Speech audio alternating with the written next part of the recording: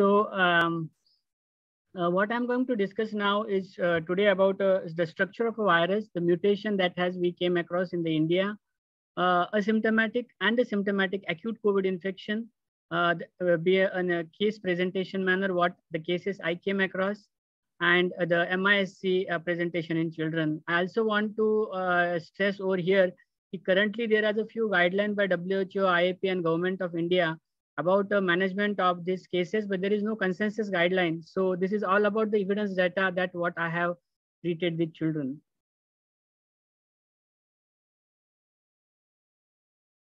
So we all know the structure. I don't want to go in detail. What we are interested over here is the spike protein of this virus. Now this spike protein is important when it get attached to the AC receptor. And because of this attachment, all the, uh, the structure of the nucleocapsid material of this virus enter into the cell the cell get infected and it causes uh, dissemination of the virus in the body. So we are more interested in this spike protein.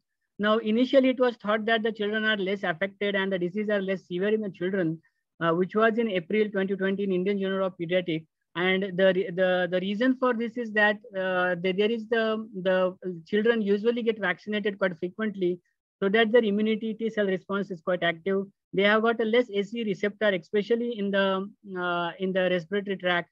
So the infection of respiratory tract in the children are less, and there are absence of a risk factor like age-related comorbidity, less degree of obesity, and the smoking. But they also want to stress is that in the children less than one year of age, and the children with a pre-existing disease like neurological disease, chronic lung disease, asthma, congenital heart has got a high degree of the uh, risk factor.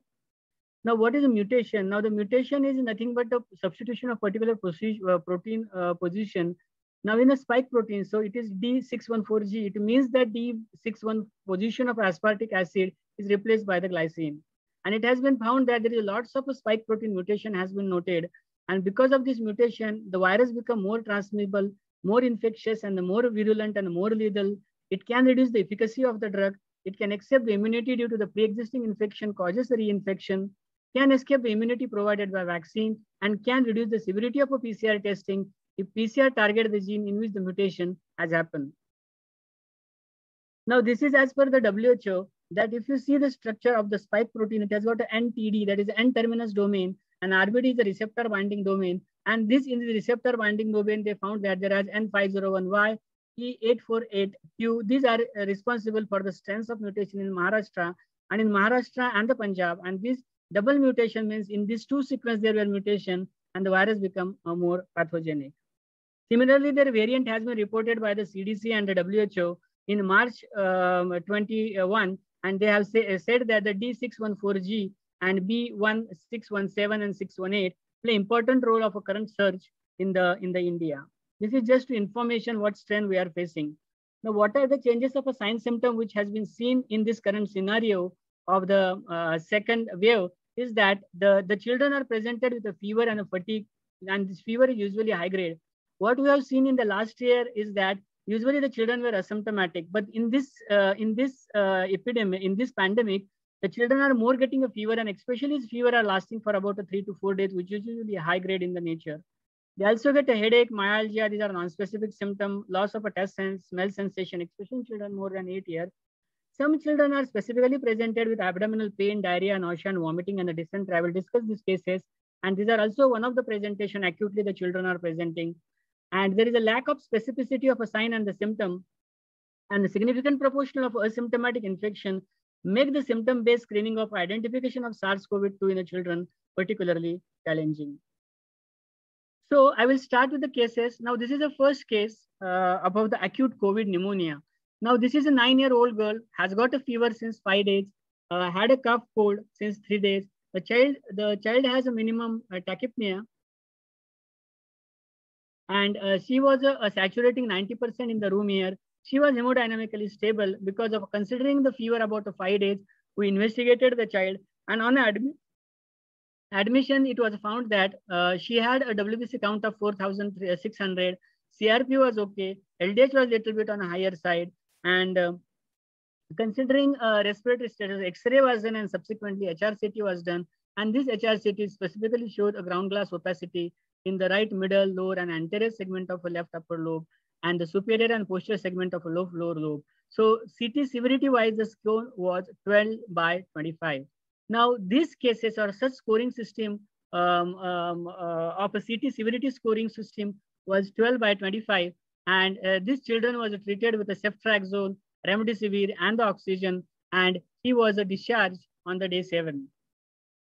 So in this case, uh, what I want to stress is that ki, uh, we don't used to see such children previously uh, with pneumonia, with the CT severity scoring. But in this uh, pandemic, we started and we needed a treatment like what we used to treat in the adult. So with a score of a 12, uh, needing oxygen to this child, we started the child with remdesivir and uh, started on the um, steroid also. Slowly the oxygen tapered down and child was discharged on the day seven.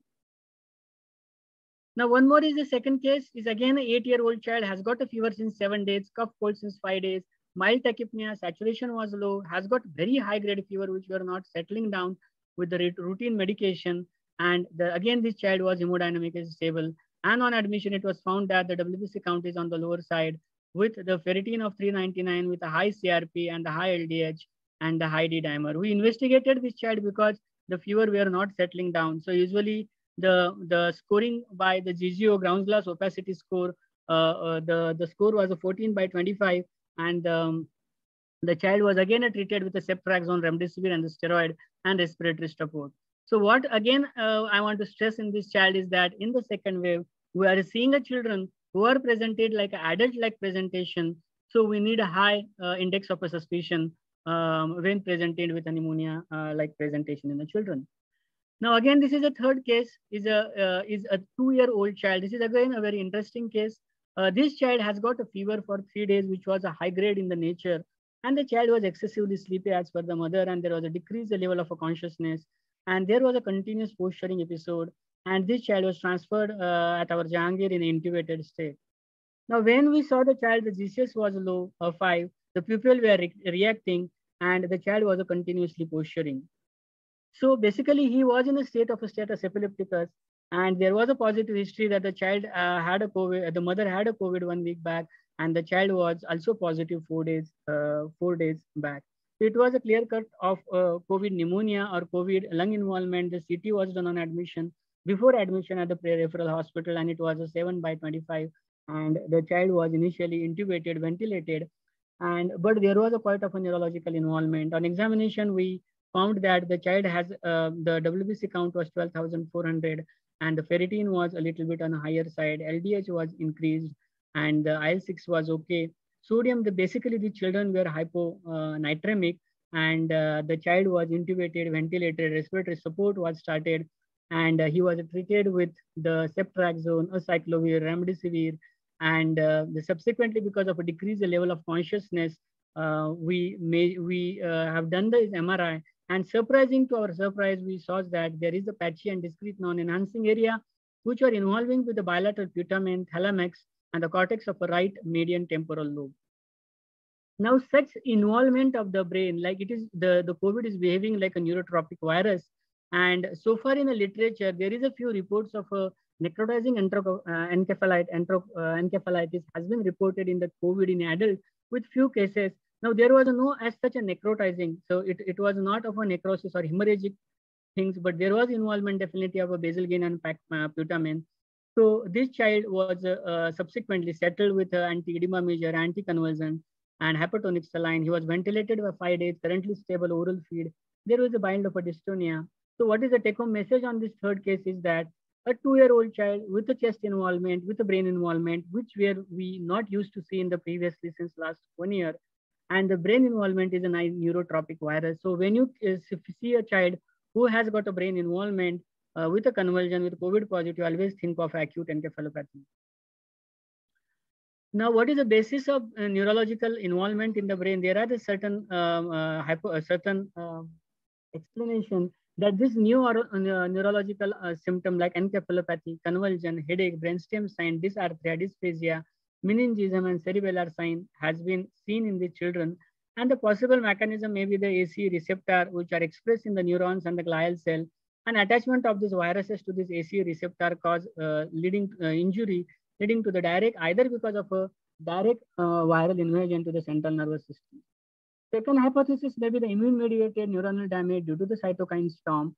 And the third mechanism may be exposure of immune system to the new CNS antigen as a result of a blood-brain barrier damage from SARS-CoV-2 causing endotheliopathy. And this leads to the immune-mediated attack of the central nervous system. So these are the possible explanation of the brain involvement in the children who are presented uh, with the uh, encephalopathy.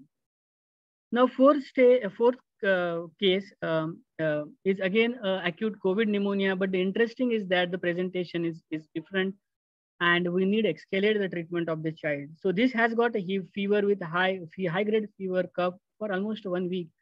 And he's a known case of a Down syndrome. He had a ASD, which was operated, um, um, uh, not operated, but he has underlying uh, risk factor of the ASD, which was a six millimeter.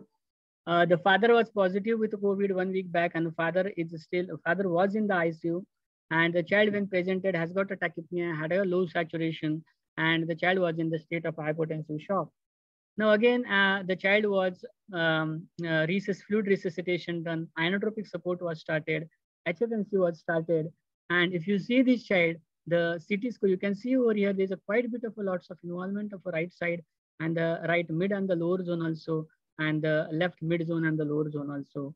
So the CT severity score was almost 17.2. So by definition, he was coming into the moderate to severe category. Now, what we have seen is the ground glass opacity. What is mean by the GGO? The GGO is the haziness with bronchoalveolar markings, which are seen in the background. Now, this child has got a crazy pavement involvement. What is mean by the crazy pavement? There is a thickening of the septal shifting on the uh, GGOs. And the last stage is a consolidation, is a haziness with the bronchovascular markings are not seen.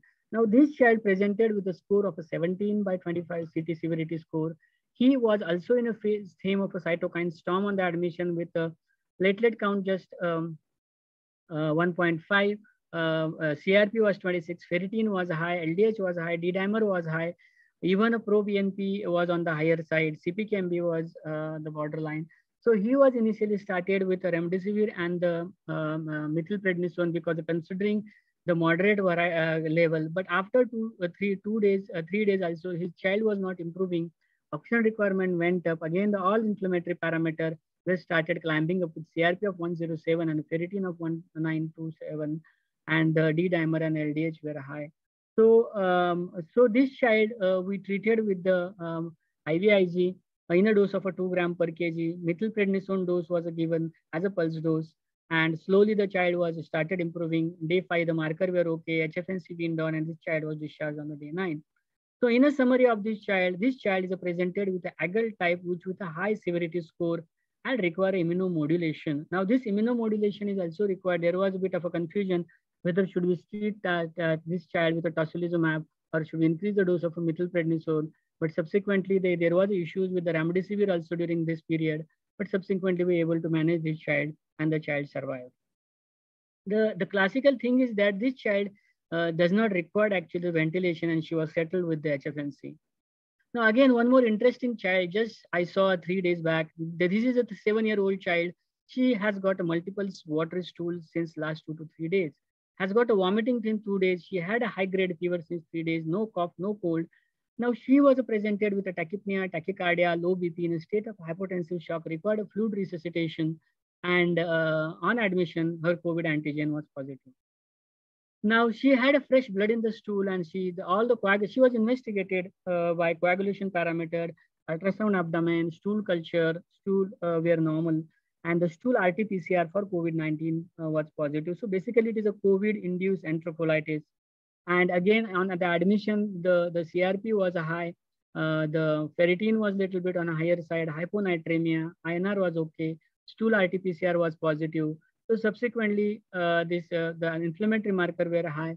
So initially, we tried with the supportive measures with the uh, the antibiotic fluid resuscitation, but ultimately she was not settling down. So she was evaluated for other causes of the blood in the stool, but subsequently we decided to start with the steroid because she was going into the cytokine storm. Treated with a two milligram per kg of methylprednisolone, and so subsequently the stool started settling down. We haven't got any chance to look for the Meckel's because because of a COVID positive stage, it was difficult to evaluate for the Meckel's, but there was no abdominal distension and, and it was looked like more of a dysentery. uh, in this child. So the take-home message from this case is that the, we are seeing a cases like in adult, there are cases of a dysentery or blood in the stool with COVID, but in children so far, even in the literature, hardly one or two cases in the world has been reported in the children acute COVID which are presented as a dysentery.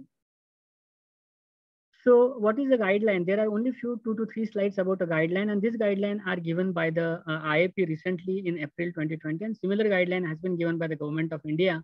Now, when you suspect that uh, COVID-19, if there is a few signs like a fever, headache, myalgia, fatigue, cough, coryza, rapid breathing or diarrhea, vomiting and abdominal pain or poor feeding in infant or loss of a taste and smell sensation more than eight year or in a rash, conjunctival congestion or in a shock or so these are the suspected children. What to test? Now testing is re recommended uh, to the children. Ideally, all children should be recommended who are in contact or who shows the sign of the suspect sign of the infection. And um, uh, what test you should do? Ideally, you should do a rapid antigen test if possible, a nasopharyngeal swab, but it has got a low sensitivity. So if it is negative, RT-PCR should be done. So RT-PCR in nasopharyngeal and oropharyngeal swab should be the confirm the diagnosis. And you also think of doing the MISC, also think of a COVID antibody with both like nucleocapsid as well as um, uh, your um, uh, spike protein antibodies. Now, uh, as per the IAP, how the it may be the mild disease or moderate disease, mild fever, sore throat, rhinorrhea, cough, no fast breathing, so it can be managed at the home, but it is a moderate, then definitely the child is in hypoxia, needing the oxygen. So it is definitely a moderate and severe is a severe form that pneumonia uh, with the low saturation, uh, with a seizure, with a, a developing a complication like ARDS and the shock. So just one uh, slide about the management as per the IAP. If the child is mild, just treat at the home. Hydration, if on breastfeeding, continue breastfeeding, no antibiotic, just a paracetamol, nasal saline drops if needed, multivitamin if possible. No confirmed role of a multivitamin. But you need to observe over here is that if the child has got a persistent fever of more than three to four days, even if the child initially labeled as a mild disease, he may land up into the moderate form. And then obviously the child needs to a further evaluation if he's not settling in the mild form. Similarly, if it is a moderate uh, thing, um, then if it is a uh, moderate thing, then definitely the child need admission into the COVID ward and um, um, then subsequently need evaluation like baseline CBC, CRP, RFT, LFT, if needed a chest X-ray, observe for 48 to 72 hour, observe for saturation, what he need, just hydration and paracetamol, if needed antimicrobial agent. But if the saturation is low, definitely he need a steroid, remdesivir, plus or minus remdesivir and plus or minus antimicrobial. And the third category, if the child has got a severe illness, definitely he will need all the like um, like uh, CBC, CRP, Procal, ABG, lactate, everything, and need aggressive treatment with HFNC. Need uh, obviously uh, ICU treatment with a steroid, remdesivir, and if needed, enoxaparin also. Similar guideline has been given by Government of India. I don't want to revise it again, but it's the same, which has been published in April 2021. There is no role of a chloroquine, hydroxychloroquine, azithromycin, doxycycline, ivermectin in a pediatric patient. Vitamin C role, again, it is antioxidant, no definite role. Zinc, again, the CDC guidelines say there is no role of a zinc. As such, there is no role of any of these vitamins and the antibiotic in the management of the COVID, acute COVID. Ivermectin, again, the CDC say there is no uh, available data on the pediatric population uh, about the use of ivermectin as a prophylactic or a therapeutic treatment in COVID-19 in children. Remdesivir is used quite frequently. There is a still bit debate going on whether it is useful or not, but uh, um, um, it is again a personal, but definitely it help all uh, the patient what we have managed. It can be used from a children 3.5 kg onwards to the 40 kg, loading dose of 4 milligram per kg, and maintenance dose of 2.5 milligram per kg, total of five days. And there is no such contraindication, but very important is the liver function test. The liver uh, liver function test should not be more than four to five times of the normal. Uh, if it is there, then definitely you need to hold on the remdesivir. Uh, then I will go to the, the second presentation in the children. Now the COVID in the children can present as acute COVID, what we have discussed. And the second is the MISC, that is a multisystem inflammatory syndrome of a childhood or PIMS, post-inflammatory um, uh, post-inflammatory uh, multisystem syndrome temporally associated with the SARS-CoV-2. Now I will start with three, four cases. Now the, this is a one child who's a seven-year-old who has a history of a three days of a fever, which is again very important is the high-grade fever. Usually all the children present with a high-grade fever, diarrhea, abdominal pain, edema of a hand and a feet, and excessive sleepiness. Father was COVID positive uh, a month back. On admission to the emergency, the child was a febrile with 104 of a fever, had a tachypnea, tachycardia, poor peripheral perfusion, low blood pressure. So basically he was in a state of hypotensive shock. He was a fluid resuscitated. Inotropic support was started uh, with uh, adrenaline infusion. His GCS score was uh, started declining. So he was electively intubated and ventilated and he uh, was started on a broad spectrum antibiotic and taking the blood culture. On examination, his lab investigation showed a low WBC count with thrombocytopenia, with a lymphopenia. Now, this was the initial case which was there in the last year, so we were still doubt what this the diagnosis was. Dengue serology was negative, inflammatory marker were raised. So he was found to be hyponatremic and nasopharyngeal SARS-CoV-2 RT-PCR was negative. The chest X-ray show bilateral infiltrate. So basically we thought that the child has got a septic shock. So as per the septic shock guideline, he was initially treated and ventilated, uh, treated, but later on it was found to be COVID IgG antibody was positive, and subsequently the echo showed a left ventricular dysfunction, but with normal coronaries. So it was basically a child with a PIMS with a toxic shock syndrome was confirmed, treated with a methylprednisolone and immunoglobulin. So what is the summary of this case is that any child who are presented with a shock-like presentation in this pandemic, you need to think of um, uh, the uh, toxic shock syndrome, which is secondary to the MISC. Again, this is a diagnosis of exclusion because considering in India, there are lots of other diseases also existing like a dengue and the typhoid and the leptospira and the rickettsia. We need to uh, rule out this condition and don't directly jump into the MISC. But again, uh, you need to think of it also. Second case is a four-year-old child who has got a high-grade fever, erythematous maculopapular rash, over the abdomen, back, vomiting, diarrhea for four days, lethargy for two days. He was a febrile, tachycardic, tachypneic, hypotensive, hypoxic, cold extremity, delayed capillary refill time. So initially, oxygen support was given by face mask and subsequently he was shifted to the high flow nasal cannula. Fluid boluses was started. WBC was uh, 18,000 neutrophilic leukocytosis with normal platelet count. Inflammatory marker CRP, ferritin, and D-dimer was elevated. So chest X-ray show a little bit of a cardiomegaly and a right-sided infiltrate. So again, this was a child again uh, on the initially we thought that has got some sepsis and some some cardiac involvement, but subsequently the COVID antibody was a positive, and uh, this child uh, had a cardiac involvement with a Z score of say 2.7 and 5.15, indicating with mild pericardial effusion, indicating that the Kawasaki-like picture. So this was again a classically Kawasaki-like picture with PIMS with tears who presented with a Kawasaki-like disease and uh, who was again presented routinely uh, like methylprednisolone, immunoglobulin. And again, he was settled on day five, taken on the oxygen nasal prong, and subsequently oxygen support was stopped and he was discharged on a day nine. Again, what our observation is that in the children who are presented uh, with a Kawasaki-like picture, so far in our series, this is almost we have managed about uh, 85 to 90 cases of MISC and we found that whenever the children who are presented with a cardiac involvement, the pro-BNP are usually in the high level, almost in the thousands. And these children are usually used to get a conduction defect, like either a conduction or sinus bradycardia with heart rate of a sitting between 80 to uh, uh, 90 or some. So this child has a conduction abnormality. The ECG, uh, the, the heart rate was a 77, but there was a sinus, there was no ectopic or any conduction defect. Similarly, we had a few child, she's a 12 year old who again presented with Kawasaki, had some, uh, showed some RH R pattern in, in, in, in some uh, leads. So there was a conduction defect has been reported uh, in a child who are presented with a cardiac involvement and Kawasaki-like picture. Next case is a nine-year-old child who was referred with a high-grade fever of 104 uh, with severe abdominal pain, loose motion, facial edema, edema of hand and feet, flush face, rash over the abdomen, and mild conjunctival redness. On admission, he was found to be febrile, but no tachypnea.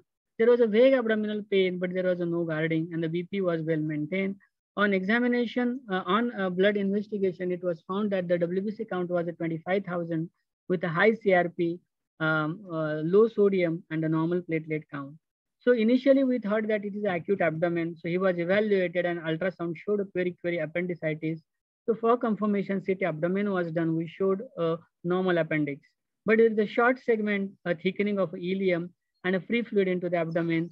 Spleen also show, uh, showed a mild uh, or a lower pole hypodensity suggestive of infarct.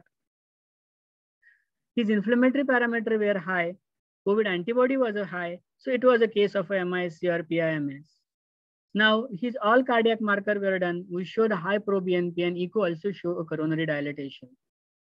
So he was again treated with methylprednisone, Clexane, aspirin, steroids, which were continued for two weeks and discharged on day two. So what we got a take-home message from this case as acute abdomen mimicking the appendicitis is one of the presentation of MISC with a persistent of a fever and with a high inflammatory marker. So this is again one probably because of a mesenteric ischemia or a mesenteric vasculitis. These children are presented with acute abdomen. Definitely we need to rule out whether the child has got really and whether really uh, he is needing such treatment with a steroid Definitely, we, we, before starting the pulse dose of steroid, we need to see that there is no evidence of any sepsis. This is again more interesting case. Uh, this is a four-month-old child who had multiple episodes of vomiting and a large blood in the stool with decreased oral intake and reduced activity since one day. On admission, he was a tachycardic with respiratory rate of a 28, with blood pressure of a, uh, 86 by 58, with saturation of 90% in a room air, with the capillary refill was prolonged.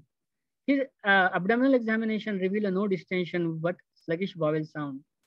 He was in a state of compensatory stop. He was a fluid resuscitated. Inotropic support was started and he was started on the HFNC. Again, he had a large blood in the stool. So, and he went into the shock, needed a blood transfusion, and we suspect the obstruction. So ultrasound abdomen and subsequently CT abdomen was done uh, with a contrast, showed dilated jejunum and a proximal ileal loop suggestive of obstruction and the mild ascites. So the diagnostic laparotomy was done. We show ex uh, extensive congested ileum. There was a tiny fibrous band which was crossing the antimesenteric border to the mesentery in the proximal ileum, but it was so small that it should not cause so much of acute obstruction. So meanwhile, his uh, evaluation was done and he shows that on admission has got a WBC count of 11,000, which later on dropped down to 4,700. He had a very high CRP, high LDH, high ferritin, high D-dimer, hyponatremia, high potassium, uh, and uh, the cardiac marker were also evaluated 6730 were a pro-BNP. COVID antibody was a positive, and um, so the echo was done also shows the dilated coronaries with Z score of a 3.6. Uh, so basically, um, uh, basically, uh, this was again a severely congested ileum. What I want to stress on this case, this is a three-month-old child who presented with a fresh per-rectal bleeding. We ruled out other causes of the per-rectal bleeding with late onset of a um, hemorrhagic disease of a newborn, any obstruction, any polyp, but everything were ruled out on the CT also and subsequently thought, thought to be a post-COVID um, inflammatory syndrome leading to the per uh, bleeding. And this also article we published in our uh, IJP uh, uh, as a, a, typical presentation seen in the children. Now, a uh, few cases of uh, PIMS and MISC were first reported in April 2020. Again, by UK definition, it is the PIMS and by or the CDC and WHO, it is called as a multisystem inflammatory syndrome in the childhood. There is a definitely a WHO guideline. I don't want to go in detail of this uh, about the guideline. You can only think 0 to 19 days is the age group and fever more than three days with sign of all involvement like uh, eye involvement, uh, shock, cardiac involvement, GI involvement, coagulopathy, acute gastrointestinal pro uh, problem, elevated inflammatory marker, and very important, you need to remember that there is no other obvious cause of a microbial infection that we need like bacterial sepsis, staphylococcal, streptococcal infection need to rule out. And positive antibody or positive antigen, uh, positive RT-PCR or any contact with the COVID positive patient. Now, what, this is a slide which is showing what is the Kawasaki in a pre-pandemic KV and what is the typical of the PIMS or MISC induced Kawasaki disease is that which is seen more in the older age group, seven to nine years, they have got more GI symptom, has got a more cardiac symptom, they have got more of a shock, and mark CR elevated of CRP, mark ferritin, mark D-dimer elevated. And very important thing is that they have got a thrombocytopenia. What is our traditional teaching about the Kawasaki disease is that after one week of the Kawasaki usually get a thrombocytosis, but in the PIMS or MIS induced Kawasaki on admission, they are thrombocytopenic and later on they start becoming a thrombocytosis and coronary abnormality of the severe grade, which is seen in the, in the MISC. A few words about MISC and cytokine storm. These are again the same, but MISC is the post-infectious. Cytokine storm is acute infection. And usually a, a, neurological sign are more commonly seen in the MISC than a, cyto than a cytokine storm uh, in the acute COVID infection. And secondary also a coagulopathy, thrombosis are also commonly seen in the both conditions. So this is again a few picture of a typical Kawasaki. If you see a periungual sparing of this uh, bilateral non-purulent conjunctivitis, some kids are also represented with a subconjunctival hemorrhage um, over here and uh, the rash uh, on the on the abdomen. Again, the uh, the Z score in the children was LAD was very high, the 4.17. Usually, Z score over than 2.5 is significantly dilated coronaries. Similarly, uh, the this uh, boy again has got you can see a strawberry tongue and has got a peri um, limbal sparing, and uh, that turn out to be MISC. Management, IVIG, uh, 2 gram per kg with aspirin, with corticosteroid, methylprednisone in a dose of a pulse dose of 10 to 30 if the child is in a shock. If the child is not in a shock, then you use a maintenance dose of a 2 milligram per kg per day. And um, if there is a no response, then definitely you need to consider for biological therapies like a uh. PIMS with TS, they may have a high thrombotic episode, so you can use a low molecular weight heparin in a dose of a 0.5 to 1 milligram per kg per dose BD. And aspirin can use it initially with a high inflammatory dose, and later on you do a low dose of aspirin 3 to 5 mg per kg per day. Now, this is again a guideline which has published in the management of MISC in the children by IAP in uh, 2021. Again, this is the same criteria what I have discussed by the WHO uh, in the children 0 to 19 in and fever more than a three days. And secondly, this is a guideline which has been published in a treatment. So if you suspect a uh, SARS-CoV-2 infection, and definitely you proceed with the workup for MIS. And what they have seen, they have divided into the tier one and the tier two. Now, if they are fulfilling in the tier one that you are suspected, you do a CBC, LFT, RFT, CRP, and SARS-CoV-2 serology. And if there is a shock-like episode, um, and uh, uh, then definitely uh, you go for the tier uh, one and tier two treatment, and if positive, you treat it. Now, if there is a no shock-like episode, then only you do a, a tier one treatment. If the tier one positive, you go for the tier two. If the tier one is negative, then you find out some alternative diagnosis.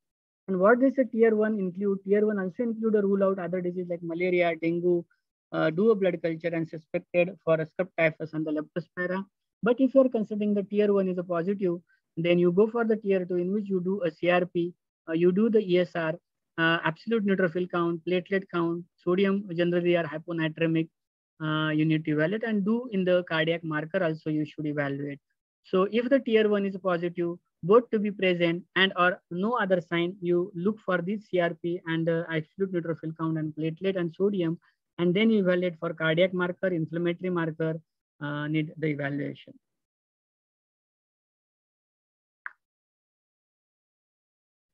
Now in the treatment part, already I discussed it. If the child has got a shock-like episode, as per IAP guideline, you treat with a 2, milli, 2 gram per kg of IVIG, methylprednisone 10 to 30 milligram per kg, empirical antimicrobial agent, aspirin in a dose of 3 to 5 milligram per kg with a maximum of 81 milligram per day. If the platelet count less than 80,000 or bleeding, you should hold on the aspirin. And you see a repeat dose of 40, response of 48 to 70. Now there is a role of a repeat IVIG. Now this is again a guideline which are published by IAP, also some Lancet uh, and the, uh, the UK guideline also has shown if there is a no response to the one dose of first dose of IVIG and the child is still getting a fever with a high inflammatory marker, you can repeat a dose of IVIG after four to five, six days or one week also. Now, if there is a no response, then you think of giving the uh, uh, IL-1 inhibitor like infliximab or IL-6 inhibitor like a tocilizumab. Um, um, and if the child has got a coronary aneurysm, a shock-like episode, you do a Z score, and Z score is more than 10, and LF, uh, left ventricular function less than 25, you should give them enoxaparin in a dose of a 2 milligram per 1 milligram per kg BD subcutaneous. And obviously, the, if there is a no shock or life-threatening disease, but the child is showing some evidence of the MISC, still the, they say it is a 2 gram actually. IVIG 2 gram per kg, methylprednisolone in a dose of a low dose 1 to 2 milligram per kg, and aspirin is needed. So should we use a methylpred or the or, or dexamethasone? Both can be used. The dexamethasone in a dose of 0.15 milligram per kg um, or a methylprednisolone of 1 to 2 milligram per kg, and they say you can taper it over three to four weeks. Similar guideline has been published by the uh, government of India, Ministry of Health and Family Welfare is on the same uh, like a, um, IAP guideline. So this is again uh, uh, the guideline which are published by the uh, Dr. Dhiren Gupta from Gangaram Hospital. This again the same like acute COVID-19 infection. If the child is asymptomatic, mild symptomatic, do a symptomatic treatment. If there is a MISC, if there is a red flag sign of a high grade fever, vomiting, pain in abdomen, then definitely the child may have got a three type Either it is a Kawasaki or it is a toxic shock syndrome or in between these two overlap or maybe in FIS called as a febrile inflammatory state. In this, some children develop persistent high fever uh, and mild symptom, and, but there is an involvement of a high ferritin level, but some involvement of a few organs, but not a multi-system involvement. Still, these children need a steroid as a treatment. Again, the shock, I already discussed what the treatment should be used, uh, IVIG and the methylprednisolone to the children. So the role of uh, remdesivir is confirmed now as antiviral agent and it should be used in initial part only in seven days. Once the child is become, uh, the landed up into the cytokine storm, definitely you need to use the steroid. There is no role of a steroid in the first three to four days. Favipiravir is not being used in the children. Immunomodulation, convalescent plasma, not used in the children an anti-inflammatory steroid, anti-leukin, uh, anakinra, or the tocilizumab can be used on day 5 to day 20. So this is again one of our paper who uh, we published in IJP about neurological manifestation which are seen in the MISC. So in a summary, uh, in this current uh, epidemic, the asymptomatic children, there is a no, no role of a treating uh, uh, active treatment, uh, you just need to monitor the child. As such, there is a no role of antimicrobial agent. This is all supportive like azith, azithromycin or the doxycycline, no role as such. Now, in a second wave, the children are equally affected as adults, and this management is very uh, critical as a few children are landed up into the cytokine storm and the pneumonia. So you should be very high index of suspicion if the child is not settling in the first two to three days. Now, what we have seen is that the more affected age group of 9 to 15 year and persistent of a symptom on day 5 or day 6 with a high CRP, even if the normal saturation indicate that this child is going to land up into the cytokine storm. PIMS, TS or MISC cases are increasingly uh, now and early detection of under treatment of the children is very important. TSS and the Kawasaki disease or Kawasaki-like disease need aggressive approach with a major role of a pulse dose of a steroid and a methylprednisone and the IVIG. Biological agents for the refractory cases. And very important, I want to stress is that detection of a cytokine storm before developing hypoxia is very important and is true for the children, also true in the adult also. So if you pick up these children or the adult before developing in a hypoxia, when they're in a cytokine